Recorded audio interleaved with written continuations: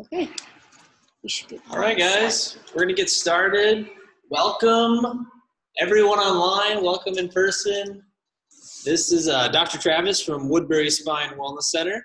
Today's topic is uh, how to bulletproof your immune system, which is a very relevant topic today. Um, so we'll kind of hit on the COVID virus and what should you be doing currently? What do you do to prevent it? Um, what's proactive if you do end up being tested positive?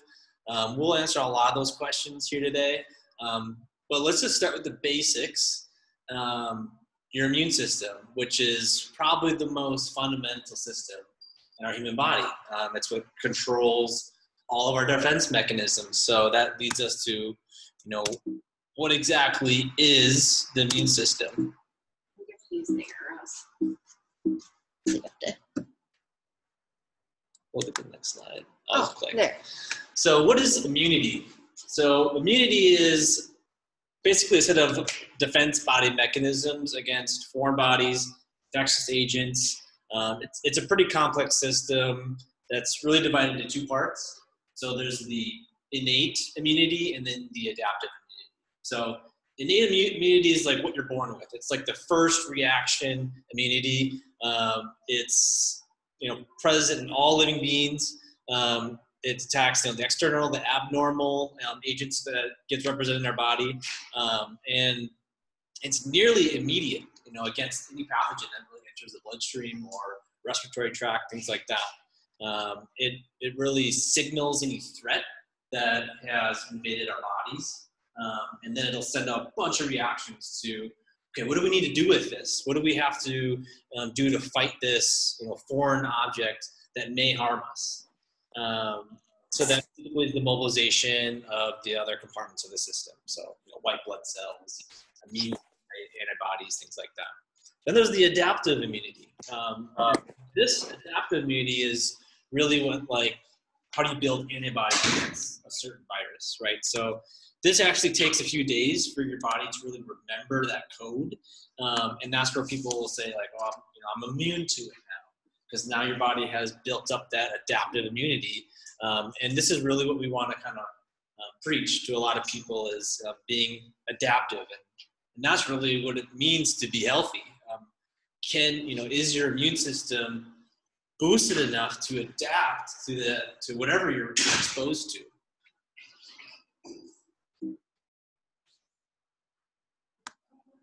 So let's go deeper into the innate immunity. Um, like I said, your inborn uh, immunity, it's your body's fast acting response team. Um, innate immunity is the natural protection that we are born with, and our first line of defense is combat infection. Um, upon detecting infection, our innate response acts very quickly to try to flush out that invader by producing extra mucus. You know, a lot of people get up that, uh, that fever basically what your body is doing is saying we need to get rid of this. What do we what mechanisms do we have internally autonomically to kill that thing right? So let's say covid. Well that's why we're checking for fevers. Um, if you have a fever it's trying to kill off that virus that might be attacking certain areas of the body. Um, so fever is actually a good thing. It's actually trying to uh, use your body's natural defense mechanisms to, to burn that off. The extra mucus you know coughing the mucus or your sinuses, things like that. Again, that's white blood cells. That's that's trying to isolate and then basically eat anything that um, our bodies don't really necessarily want. So we can go deeper into exactly like which cells in the body does this um, uh, represent, but understanding, you know, there's many different types of cells and they have different functions. Um, so the macrophage, you know, first line defense, you know, these are the non-antigen specific um, gatekeepers of the adaptive immunity. Um, but basically, um, macrophages are eat, eat away, um, you know, certain uh, dead cells and, and viruses and kind of, again, try to mobilize them, try to stabilize them. Um, dendritic cells with the neurological system, natural killer cells, they basically are like Black Hawks, right? They, they're going to fly to that area and they're going to basically touch it and kill it. Um, so we want um, good functioning um, white blood cells to be able to fight these uh, different uh, virus um, infections off. And then you have the adaptive immunity. So that's exactly what your memory of your body remembers. You know, chickenpox, let's say, there's another, um, you know, your body remembers that you've had chickenpox, so then you don't necessarily get it over and over and over. You, you have built the antibodies towards them, and that's the B and the T lymphocytes that do that. So the antigen specific memory. Um, and this could be true for COVID, you know, and you want to you want to build those antigens within those B and T lymphocytes. Okay, really important issue right now. Um, as everybody's stuck inside, you know, we're not as active as we used to be. Most common morbidities of COVID 19 and most diseases. Um, so basically, uh, when you have metabolic syndrome, which is a combination of, of many um, illnesses, blood pressure, you know, blood glucose, obesity, uh, you know, your visceral body fat, your weight, um, a lot of these um, comorbidities are going to increase your chance to have poor out- outcomes if you do end up getting um, COVID 19. So, this study basically looked at uh, a, a, variety of, I think it was like 400 and some page, um, patients from April um, to June. And they basically showed that patients who got COVID with uh, like a comorbidity or you could say metabolic disease had basically 50% worse outcomes and had to go, you know, 50% more had to go on ventilators, 50% more died, 50% more had to do some kind of uh, intense acute, you know, intervention, you know, um, and, and that's what we don't want to do. We want to uh, be able to reduce our, um, our chances for having to go through a lot of those. So you can, you can kind of see um, some of these big risk factors. So if one of those look like that may pertain to you, um, then you would um, want to be proactive about um, trying to do some of that stuff naturally. So hypertension, uh, again, overweight, um, blood sugar regulation, again, heart disease, respiratory um, diseases, and asthma, kidney kidney diseases, you know, sleep sleep apnea was on there. So that's a lot of a lot of people out there that have sleep apnea. Um, decrease your, your oxygen saturation at night. So, what do we do? Eight ways to support a strong immune system. There's so many different things out there in the world right now that tell you um, this will increase your immune system. You know, you know, supplements and you know foods and you know exercise and you know we don't really hear a lot of that right now. Uh oh. That's weird. One second, technical difficulties. Oh, yeah. We're gonna report it. I don't think they liked what we were talking about. You probably said COVID too many times. I freaked out. Yeah, we're gonna say something in Corona. All right, just jumping back on one second. We're talking about eight ways to support the immune system.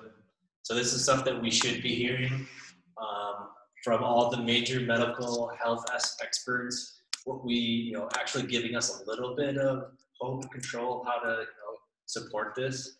Um, so these are some, um, you know, top ways that you can really do it in a, in, in your own time, in your own, you know, um, your, your own ability to kind of help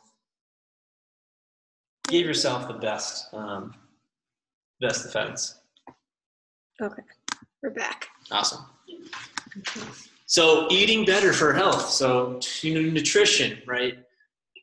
What are you consuming? Are you consuming high processed, convenient sugar, you know, sugar foods and um, you know, oxidized oils? Um, those things are going to really decrease your your immune system. So we want to ingest proper minerals, vitamins, right? Zinc's a huge one, selenium, iron, copper, folic acid, vitamins A, B, C, E, all have immunological, responses. It has immunological um, considerations. So keeping, you know, eating your fruits and vegetables, you know, having a diverse um, food plate, basically, um, we'll be able to get all different types of vitamins and minerals. Um, this comes straight out of Harvard. Uh, these um, recommendations. So to make a clean eating a priority, um, there's a couple guidelines that you can go by. So wild smash fish. Okay, smash stands for sardines, mackerel, anchovy, salmon, and then uh, herring. So those are basically the small fish. Okay, small fish have low metal content. Um, so having those big fish, swordfish, even tuna can have a little higher mercury mercury content. Um, plant-based diet again, um, enhancing your um, gut health, fruits, vegetables, grass-fed meats. Okay, grass-fed meats, not corn-fed or grain-fed. Um, those are going to be pro-inflammatory type meats to consume. Um, so that's a huge one. High fiber, so getting enough fiber in the diet. Again, normal digestive system is a huge one. Majority of our immune system actually is through the gut. Um, so through what we eat, and it's through um, you know how our um, you know there's a lot of neurological connections through the gut and the brain. Um, it's basically the second brain they call it.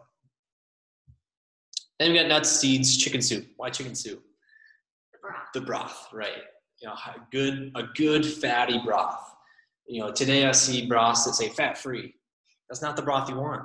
You want to get the bone marrow. That's where all the proper nutrients are. So fatty bone broth soups. You know, this time of year is perfect for winter. So load up on that. Make your own if you if you can.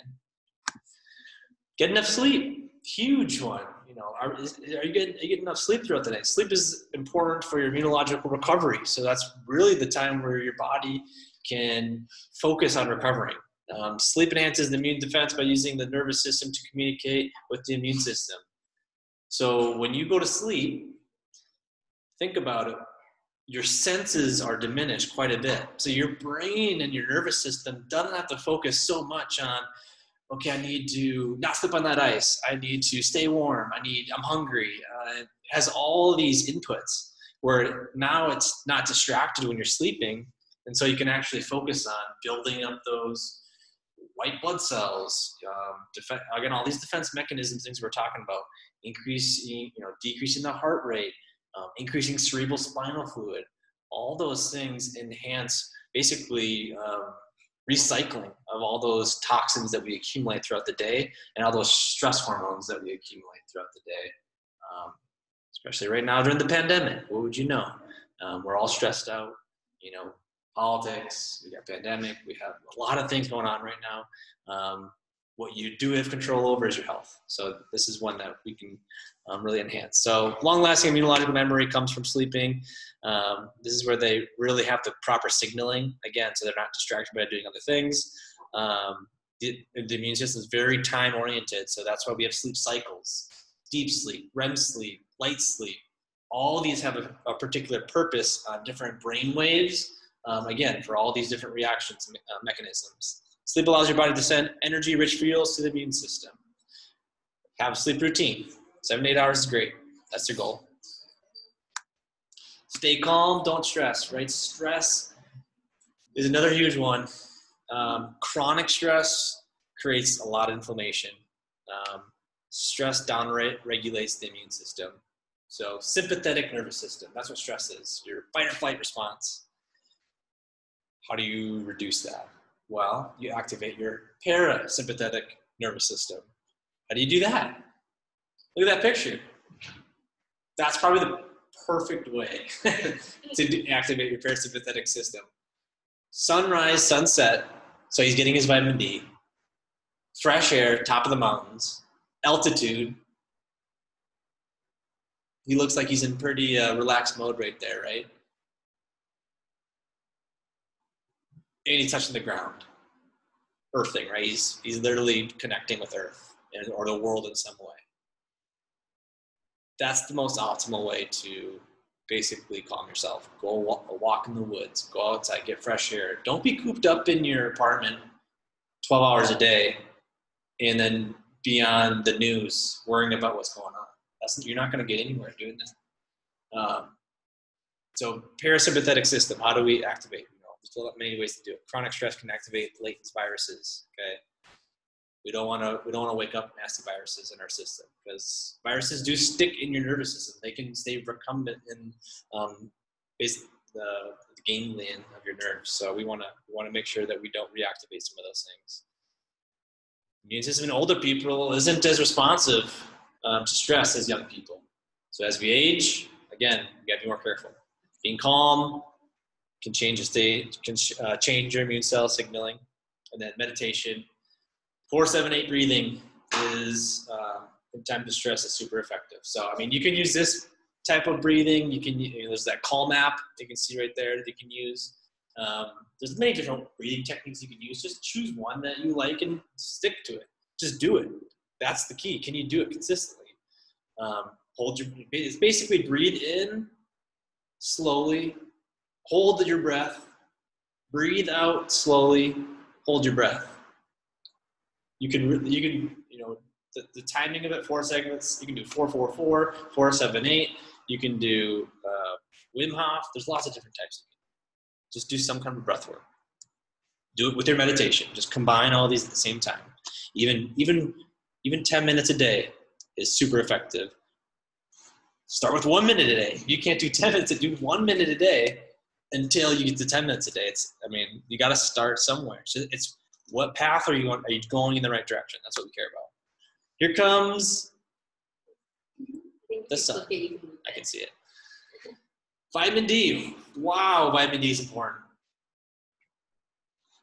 Out of all the out of all the blood work that we've done on all the patients here, that is the number one that's super low on everybody. Everybody thinks they, they get enough vitamin D. Midwest, you're notorious for having low vitamin D. Vitamin D is not just a vitamin. It's a hormone. It regulates so many different um, immune responses, hormone regulation of everything in your body. I mean, it's super important vitamin. You need to make sure that you're you're really supplementing with this. It's very difficult to get through your your nutrition, um, you know, unless you're some kind of nutritionist and know exactly what you do. Um, you don't need to get sunburned to get vitamin D. We don't need to worry about that right now in November. But um, try to get five to 15 minutes sunlight per day, even if it's right now. It's better than nothing. Again, it's good for your circadian rhythm to look at that sun. Um,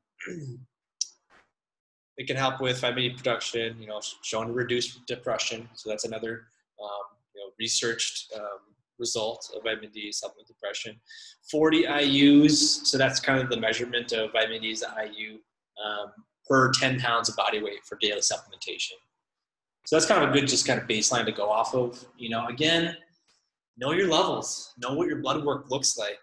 Um, if you're at, you know, I, I, would like you around 50, 60, 70, I, um, you know, score of vitamin D in, in your blood. Um, if you're, if you're at like 10 and 20, we got to really bump you up. You know, I would, I would recommend, you know, up to 5,000 IUs until we got to normal levels.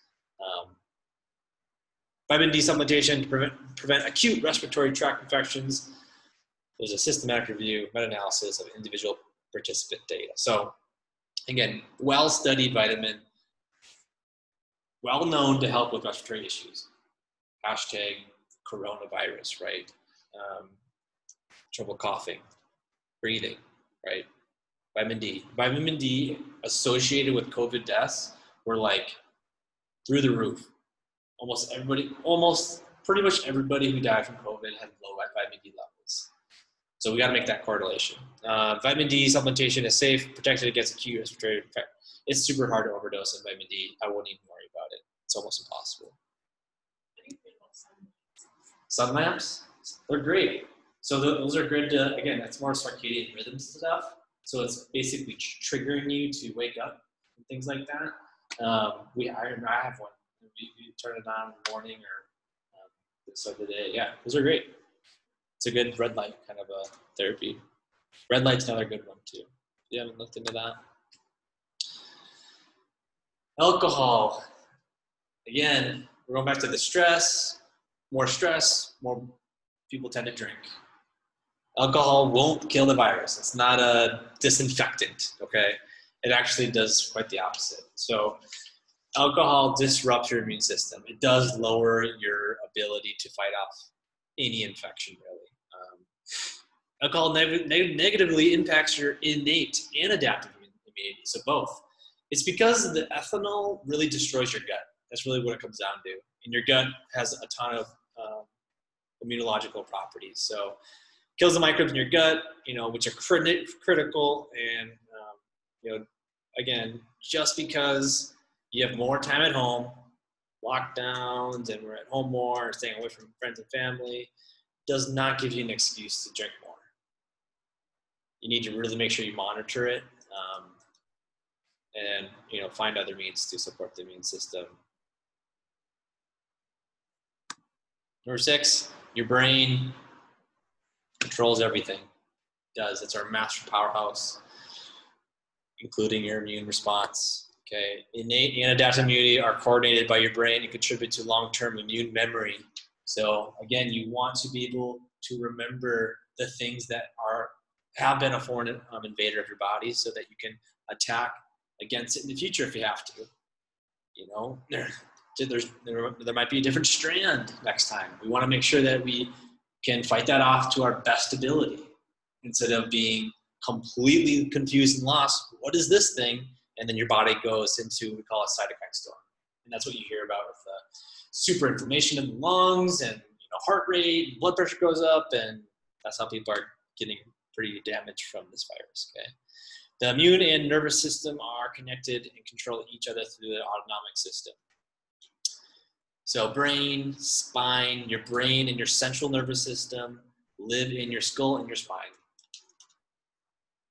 So, you, we want to maintain best brain and spinal cord function through natural means. Chiropractic is a great, great option for that. So, if you are not getting chiropractic care, this is your time. Supplements. So many questions about supplements. Which supplement should I take? Supplements are great. You know, they're not they're not cures. They're, you can't cure. You're not going to cure anything. I mean, think about it as what can I do to optimize my immune system to its best ability. Okay, and supplement can help with that. Um, vitamin C, known antioxidant. Okay, zinc, super well studied mineral to help with the immune system. Mixed mushroom complex, okay, we're talking you know, chaga, shiitake, we're talking all those mushrooms that we know of, lion's mane. Okay, just to get a get a complex um, amount of those mushrooms, super good for immune system. Um, I mean, those fungi, they're our friends. Um, vitamin D, K2, we mentioned that. Probiotics, the Spore Probio, that's the one we're representing. Um, again, we're talking about gut health. So having proper um, probiotics, proper gut flora helps enhance the immune system. Liposomal glutathione, another another antioxidant. Okay, really helps um, boost the immune system. Really focuses on your mitochondria. That one. So making sure that you have enough um, energy. Okay, beta glucans. That's found in like oats. So having like steel cut oats and stuff um, helps keep blood pressure down. Omega 3 fatty acids, so anti inflammatory fats. Again, we talked about the smash fish, they all have that omega 3 fatty acid. And then elderberry.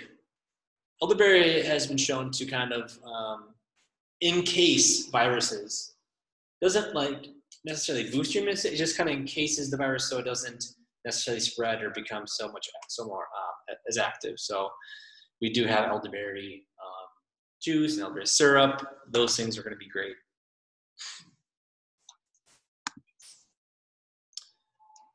This is a well-known practice. Washing your hands. Science says washing your hand can prevent about 20% of respiratory infections. Think about it. Our hands touch a lot of stuff. And then we touch our faces. We have the sniffles, right? Our, you know, or whatever, washing our faces, we touch our face a lot. And or we have masks on, you know, and we have to readjust it. Again, you're touching your face again. Try to avoid that. all precautions. Um, and if you do, just you gotta make sure you wash your hands quite a bit. Okay, Antibi- uh, antibiotics often are prescribed unnecessarily for these health issues. Um, reducing the number of these infections by washing hands frequently helps prevent the overuse of antibiotics, the single most important factor leading to antibiotic resistance around the world. Hand washing can also prevent people from getting sick with germs that are already resistant to the antibodies, and that can be difficult to treat. Okay, what should we do? How do we stop the spread? Help prevent the spread of respiratory diseases like a COVID, coronavirus 19. Wash your hands first and foremost. That one's easy. You know, not only for um, corona, but the many germs that you'll acquire by touching elevator buttons, doorknobs, somebody else's hands, things like that. Um, or the dirtiest thing on the earth, right? Money. Money's the dirtiest. I mean, look at the restaurants, right? You can't even pay with cash anymore because it, they understand cleans their dollars. Um, that can be spread. Um, stay at home if you're sick. Same with your children. Again, just reducing the number as much as you can. But if you stay at home, don't just stay inside. You know, stay go on your yard and stuff too. If you want to chill, go for it. Practice social distancing, avoiding activities that have large crowds. Again, just giving people space. Don't touch your face or pick your nose. It only contains what it always does, bad things. But if you must, at least wash your hands. So disinfect, you know, surfaces, you know, cover your sneezes. You know, these are things that we all knew before. It's just it's like reminders. We just, I mean, it's no, it's no different than if we had a regular flu. I mean, we're going to do these exact same practices. So just being smart and being, um, being courteous. Keep well hydrated with water or fluid of your choice. Okay, not Corona beer. it's not named after the virus, and it's not gonna. You're gonna get it from drinking Corona. Remember that unless you're old and ill, you'll likely recover fully. Okay, it's like even if you're a comorbidity and you're over 65 and even and let's say you meet all those um, you know comorbidity biomarkers and you get covid you still have about a 90% chance of recovery which is pretty good 90% chance if you are young and healthy and have no issues you're at like 98.9% chance you recover it. So this is, you know, this isn't a huge, I mean, we're, we're, we're being, we're being very fearful of something that's, um, has a low percentage of death. Just take your, take your precautions. Um, yeah, you have better odds crashing your bike or driving a car or making a bad investment than dying from corona. Um, so again, the odds are not very good. Rest, relax, live healthy. Stress, lack of sleep, poor nutrition, and poor hygiene will weaken your immune system. Get enough sleep, eat well, and wash your hands. Again. Obviously, please follow us on Eight Weeks Wellness, Woodbury Spine. We've Got the links.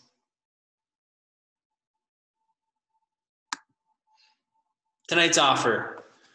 Everybody online, everybody in person, this is the offer that we're um, doing tonight as a part of um, you know supporting your immune system.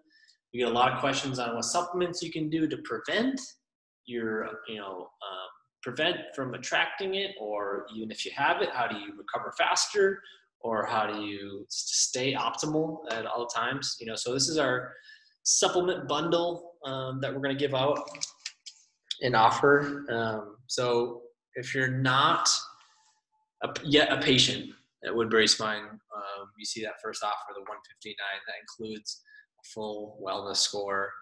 Um, and if you don't know what that wellness score is, it's basically a full assessment of your health. Um, X-rays, you know, body composition analysis, movement tests, neurological testing, um, full history, um, just you know, goal-oriented evaluation. And then, of course, the supplement bundle, we have vitamin D. We have a, immune support, which is a, a, lot of variety of different minerals and immune supporting um, components. Liposomal C, so liposomal basically under the tongue, so it's a liquid form. Um, super potent. Um, high doses of vitamin C have been shown to really help with the immune system. And then that ultrabiotic defense, which is that probiotic.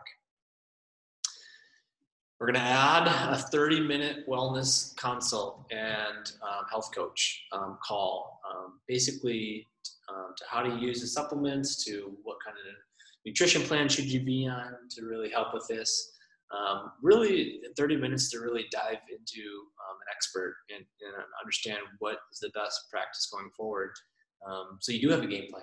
You know, we want an action plan going forward. If um, you know, if you have suspicion or worries about your health and um, what might happen in the future. Again, you can see that same um, offer for current patients. And um, all you need to do is text immune to 651-731-0505. That's the office. And we'll basically get in touch with you if you send us that text and um, start scheduling your appointments and get you um, locked and loaded with those supplements and a wellness score if you need to. Um, we do offer an elderberry syrup uh, with echinacea. Um, echinacea, again, is another enhancing um, herb. $30 for that guy I add that. Um, I love that stuff. Um, it's super good. I mix it with like carbonated water. It's it's amazing. It's like an elderberry carbonated water drink. Um, I might do that tonight. You're about it. yeah. so if you want to add that, uh, I definitely recommend the elderberry syrup as well. Um, and we'll be offering you know this deal up until Wednesday. So um, please text us by Wednesday. It's gonna get in touch with you. Or You know, they can stop on the front desk. You are stopping at the front desk, you know, and see us in person. You know, we're we're dropping the price. I know you're saving about thirty bucks. Um, yeah, a little more than thirty bucks for um, this this kind of deal. So please please get in touch with us if you have any other specific questions. Um, feel free to reach out. See if there's You any. can que- text us and uh, get in contact with us. Any any questions for me?